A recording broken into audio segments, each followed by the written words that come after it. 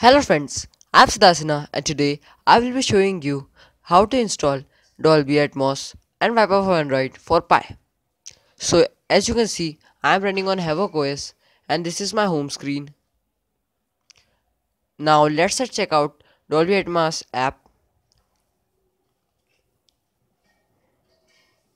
So here are the profiles, movie, music, game, etc.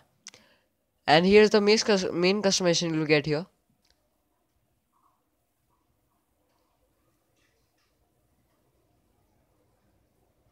Now, another powerful app is Viper for Android. If you know about this, it's good. But if you don't, so please check out the explanation in description. And I can bet it, it is very amazing equal uh, amplifier for a phone.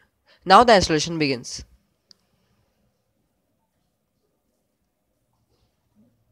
So this is a OrangeFox recovery or if we can say TWRP recovery. So you have to select your file from where you have kept it like its downloads. Now swipe to install it and the installation begins. As the installation gets completed, reboot the phone and you will get both of the apps.